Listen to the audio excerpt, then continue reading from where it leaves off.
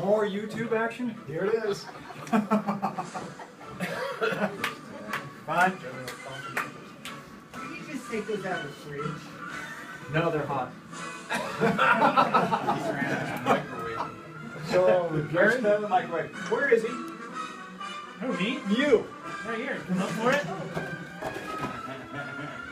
Thank you for documenting so well in your user's guide three levels of indirection before I could find the information I needed. but it was there. Yep. I apologize. That is awesome. Whatever I just said twice. if it's two. Yep. And that last one, dash R, that's kind of lame. So you don't get one. We don't have Pepsi. I'd give you Pepsi. It's supposed to be Coke, but instead you get Dr. Pepper. I shall be better. So, can the rest of us?